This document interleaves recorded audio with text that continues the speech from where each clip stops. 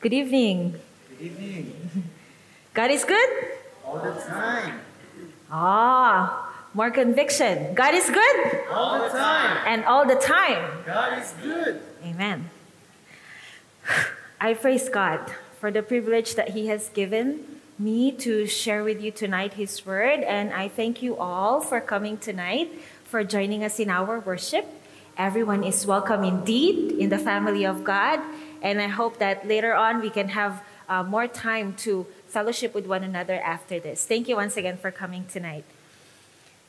So, our study this week, the Jesus you don't know. And tonight's topic is unclean Jesus. Let's have a quick prayer, please. Father God in heaven, we need you in our midst we need the Holy Spirit to be in our hearts so that we have we can have an understanding of your word and not just that so that you can give us the humility of Jesus to accept whatever truth we can find from your word that will reveal the real condition of our hearts. Help us, dear God, as a church to trust your word tonight and to humble ourselves before you. In Jesus' name we pray. Amen. Okay. I thank God that the order of the message this week was put in such a way. Because our lesson last night was related or is related to our topic, topic tonight. That's why when Brother Eliel was sharing something, I'm taking down some notes to add to what we can study and learn tonight. So praise the Lord for that. Last night we have studied about what again? Jesus cutting family bonds. And now we have a better understanding of what family really is. More than blood relation, more than earthly and temporary relation. God is inviting us to join in an eternal belongingness to his family, right? And what is the family that Jesus defines once again? Those who do the will of the Father. Those who do the will of the Father are my brothers and sisters and mothers. So, if I lived during Jesus' time, if I was there, right there at that moment, and heard that, ah, so Jesus' family are the ones who do the will of God, I might have some questions. I might say, so, what are the will of God? If I want to be a part of the family of Jesus, what is the will of God? Is it the set rules and standards that my synagogue leaders have taught me? Is that the will of God? I might have that question if I lived in that time. Because during the time of Jesus' ministry, it was a popular belief that those who did not meet the standard that the Jewish leaders have imposed on their fellows were considered outcasts of the society. Well, that's kind of discouraging, right? And they were considered sinful people who do not deserve a, a chance for salvation. They were considered unclean. And who among you here can tell me who are the ones considered unclean in that time, in those time, in the first century, in Jesus' time? Anyone? Who are the ones considered unclean by the society? Tax collectors, people with leprosy, prostitutes, Samaritans, very good, Roman soldiers and their leaders. Sorry? Foreigners, those that are not Jews. Very good, thank you. So these are the ones who are considered outcasts, unclean of the society, even those with physical deformities. So at that time, many also who assumed to be doing the will of God believe that in order for them to stay or remain in a perfect religious status, perfect spiritual condition. They cannot and must not associate themselves or go with the unclean. the sinners, the sinful at that time. Today, today, tonight and today, I combined it. Today. Today, contrary to popular beliefs, Jesus loved to mingle with the outcasts. And this we already know, those who are living today. But tonight, we need to have a better understanding of what Jesus really means about mingling with the outcasts and who are the outcasts of today. I want to invite you all to open the Bible with me. Luke chapter 19, verses 1 to 10. And let's see. These are some stories where Jesus mingled with the outcasts. We'll learn from him. Luke 19, 1 to 10. Are you there?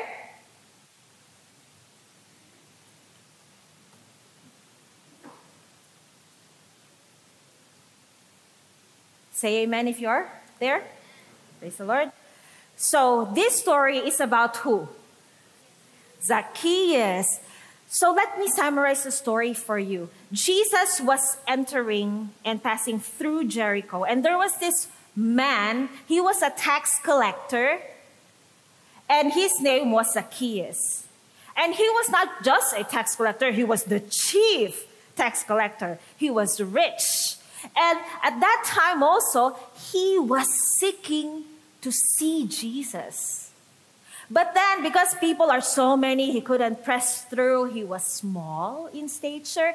He had to went ahead and climb up a tree. Children, you remember the story? Climb up a tree, and he to he waited for Jesus to pass by. He knew that Jesus would pass by that way. And then when Jesus passed by that way, sure enough, Jesus looked up and addressed Zacchaeus. Zacchaeus, come down. Hurry, quickly. I must, today I must abide at thy house. That is what King James Version has put it. I must abide at thy house. Wow. Again, who was Zacchaeus? Tax collector. He was considered an outcast at that time. And maybe when Jesus said that, these people were like, huh? Why? I mean, can't he just come to our house? Why, why would he choose a tax collector who has been stealing money from us or has been cheating? See, this man, the chief of tax collector, he was rich and probably people have hated him or hated hated him a lot because of the extreme greed of for wealth that he had. And because of this, the Jews avoided any contact with tax collectors. They were considered outcasts.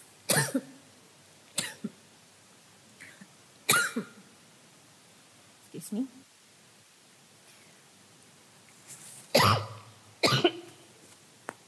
Sorry. All right. Why did Jesus decide to dine in his house? Anyone? Why did Jesus decide to dine in his house? He wanted to bring salvation to this man. And, brothers and sisters, we'll go back to our Bible verse later. God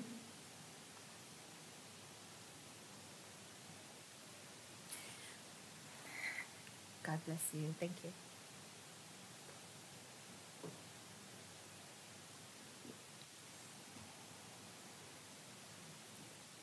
Sorry for that distraction. Let's get back.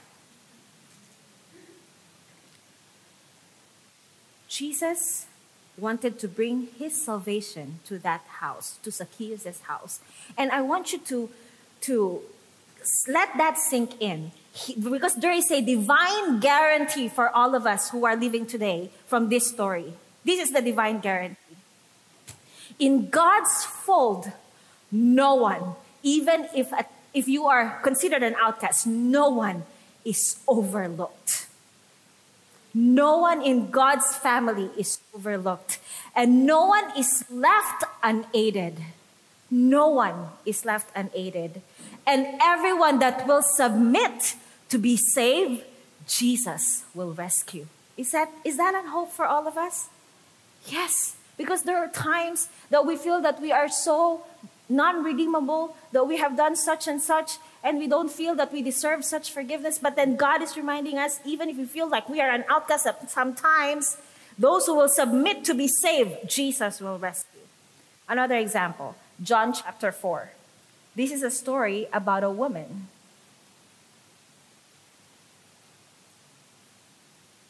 John chapter 4.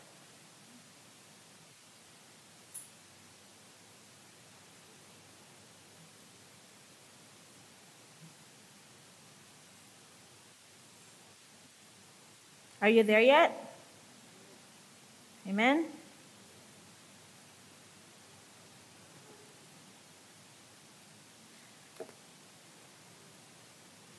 All right.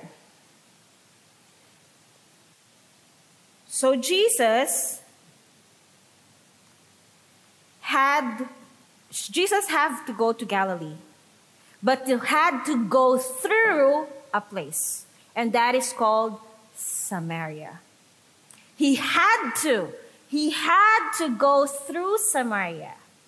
And then when he reached a certain town in Samaria, he sat down near Jacob's well. It was at noontime, and then a woman came, a Samaritan woman came, and he spoke to this woman and he asked, What did he ask? Drink? Or can you give me water? Can you give me a drink? This woman, knowing that this is a Jew asking him, asking her, was surprised. Why are you asking me for water, knowing that I am a Samaritan and you are a Jew? So we can see in this story that the woman was surprised. But then Jesus said, If you know who is asking you, if you know what I can give you, and if you know that what I can give you is a living water, then you will be blessed.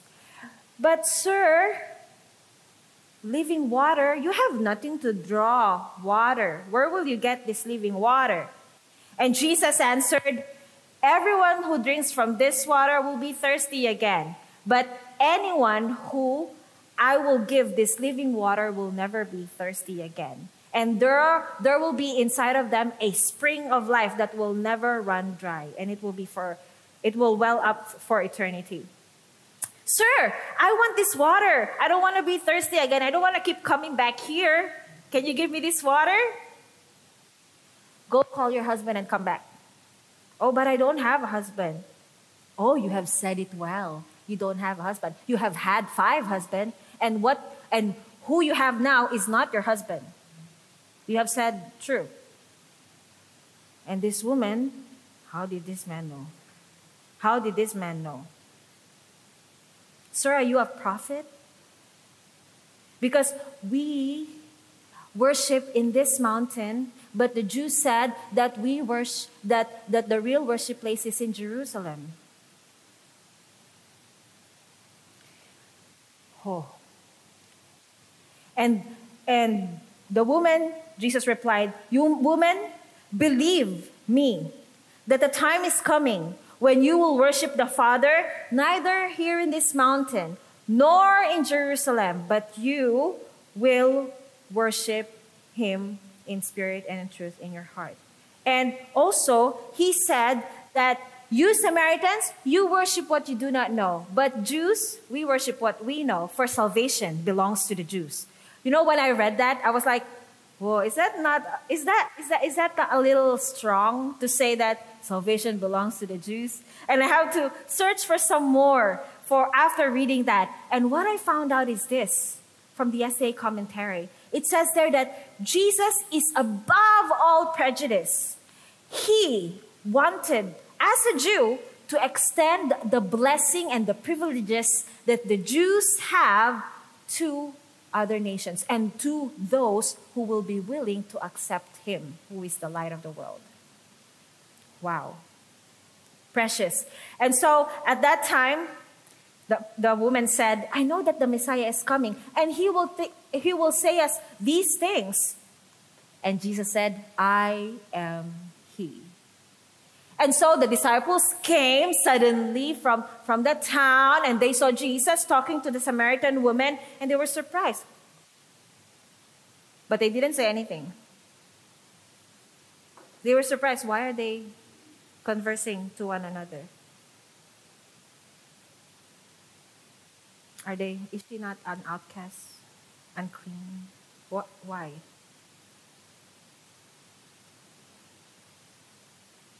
But the woman left his jar. He went to the community, he went to the rest of the town, and she said, Come, see, there was a man who told me everything I did. Can this be the Messiah? And we know the rest of the story. That woman and the community that, that has heard Jesus were converted. So the fact that this woman was Samaritan made her an outcast, right? She herself said to Jesus that Samaritans do not get along with the Jews, and there was a barrier between these two group of people. And furthermore, we saw the reactions of the disciples when they saw these two speaking to one another. But Jesus had to go through Samaria. Why?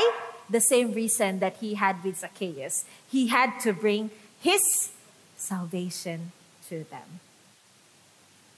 He wanted to give her living water and eternal life for the rest of the people in the Samaria. Now, the Jews, they only had condemnation and judgment for them.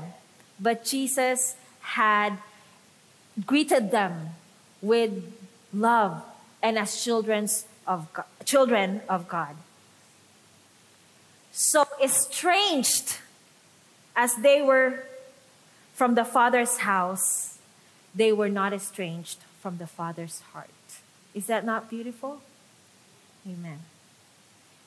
Another example, Matthew chapter 8, verses 1 to 4 the second to the last example that we have. Matthew chapter 8, verses 1 to 4. This is about the lepers, or the leper. Let me correct myself. It says here, Matthew chapter 8, verses 1 to 4. When he was come down from the mountain, great multitudes followed him.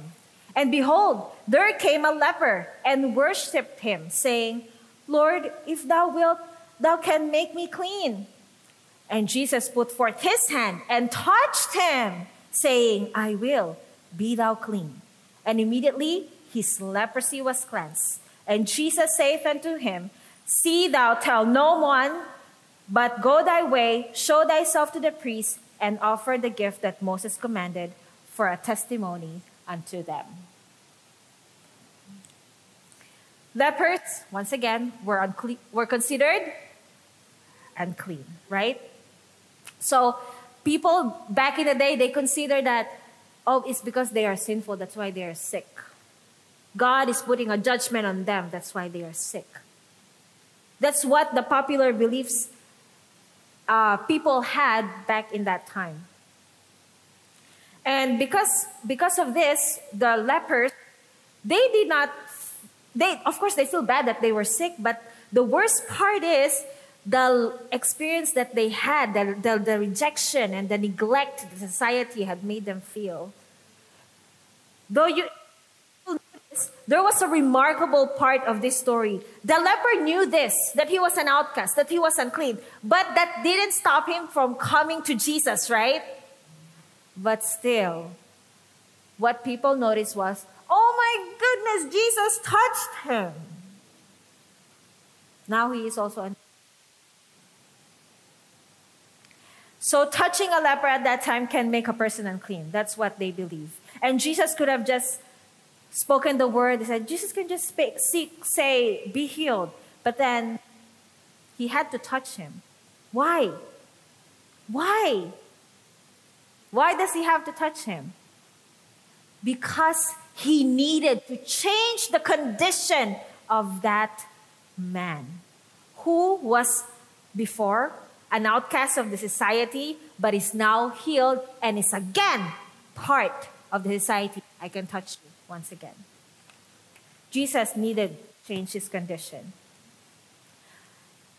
And lastly, this time, this is not Jesus, but Jesus' disciple mingling with the outcasts. Acts, Acts chapter 10, please. Acts chapter 10.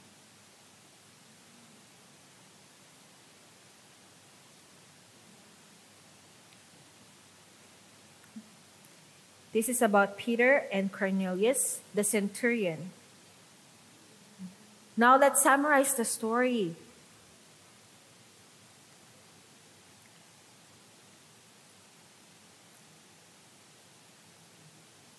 Okay, there was a man named Cent- uh, Cornelius. He was in, a centurion from the isn't reliable at the moment.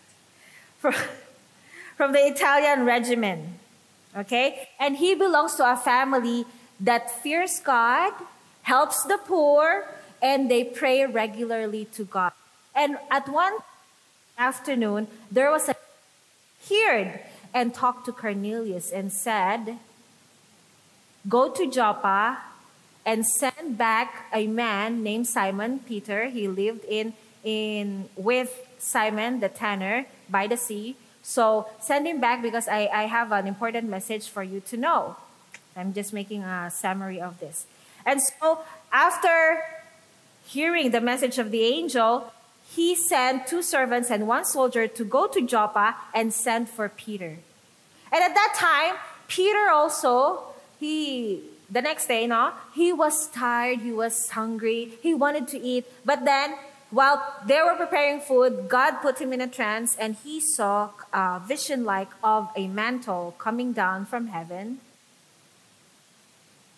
And in that mantle were different animals, reptiles, birds, four legged animals. And God said, Get up, Peter, and eat. Kill and eat. And what did Peter say again? Oh no, God, uh, no, my Lord, I have never uh, uh, eaten any unclean thing. And this happened three times, three times until God pulled pulled back the sheet uh, back to heaven, and then he said he realized something. Okay, let's go back to this Bible verse. In verse 14, Surely not, Lord, Peter replied. I have never eaten anything impure or unclean. But the voice spoke to him a second time and said, Do not call anything impure that God has made clean. This happened three times. So while Peter was ponder- wondering about the meaning of the vision, the man sent by Cornelius found out where Peter was living. He asked, Does Peter live here? And God spoke to Peter and said, Peter, come down, get downstairs. There were, I sent three men for you. Go with them. Go with them. For I have sent them. And Peter went down and said to the man, I'm the one you are looking for. Why have you come? And they went to Cornelius, and Peter found out that he had to share Jesus Cornelius. And Cornelius believed together with the rest of his close friends and his household. So we can see here in this story once again that there is a mingling with the outcasts. Now, brothers and sisters, go back to the question Who are the unclean of our time? We have to give you a lot of examples from the Bible. We need to let the Word of God sink in very soak us very well to why is it important for us to mingle with the outcasts and who are the outcasts of our time? Who are the unclean of our time?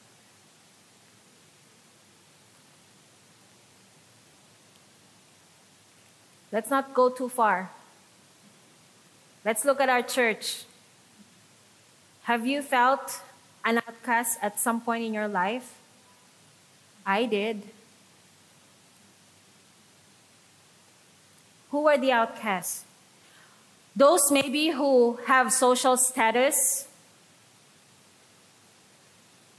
some who are poor, or maybe not fortunate enough to have these material things, they said they were the outcasts of the church. Some who might have some bad experiences in their life, some bad past, and they feel that they cannot mingle with anybody. That's why they, uh, they appear unfriendly in the church.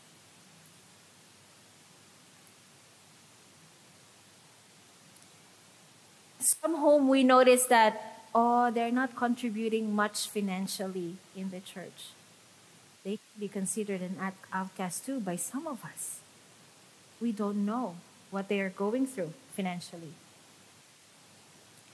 Who else are the unclean, quote unquote, of our time? Those maybe whom we assume inactive in the church just because maybe we are involved in many ministries that many people see. Those maybe who are feeling like they are Zacchaeus, who have in the public eye that is wrong, and they, fear, they fear that they are judged, they fear that they are an outcast, unclean. Who are the out? Are we? Have we experienced being an outcast? So, like, just like the Samaritan woman, has different nationality. Have we made someone feel like an outcast because their nationality is different? Language is not as fluent as ours. Or maybe they have lost their nationality because they were persecuted in their own country and they are seeking refuge where they are right now. Or maybe we consider people who are outcasts when they have different outlook in life than we different outlook than we have. Because that's just the amount of light that they have received at that moment. But we consider them an outcast. Brothers and sisters, I want us to really think about this. Are we being the present Pharisees and Jews or Jewish leaders of this time?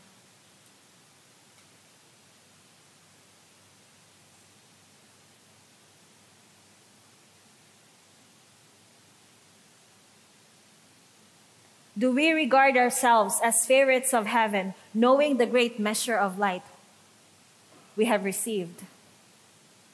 How we think about others affect the feelings that we have towards one another.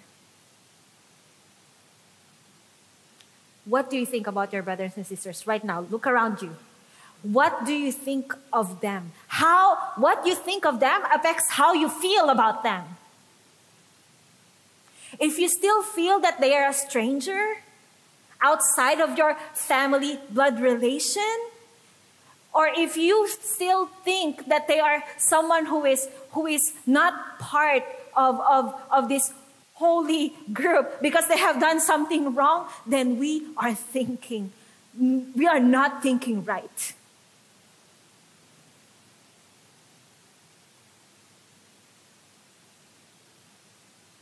We have been reminded that Jesus called everybody. And, and what, how we live now how we live now, how we treat one another now, how we act with someone's mistake now is a practice of how we will live in heaven for eternity with the rest of the brothers and sisters. How are we practicing our life for eternity here as a family of God? And if we have been the one who were outcast and have that hurt from the church, maybe, or from one brother or sister, I want to read this to you from Christ's object lesson. I'm almost done.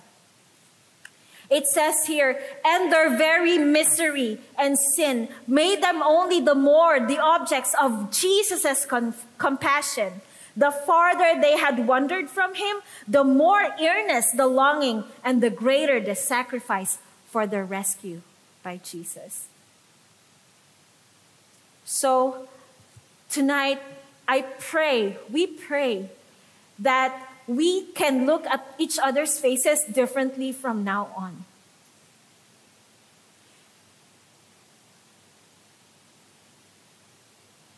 You know, when Jesus, when, when the, the apostles were gathered in the upper room, they prayed together and they received the Holy Spirit. And after they received the Holy Spirit, they were filled with so much love for Jesus and with so much love for one another and for those whom Jesus died for. Now, we need to pray for the Holy Spirit this revival week as a church. We need to have that so much love for Jesus and for those whom Christ has died for.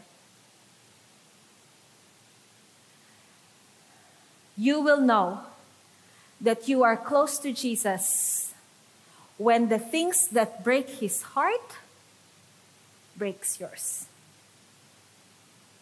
So if we haven't reached this point, let's pray for God to God tonight.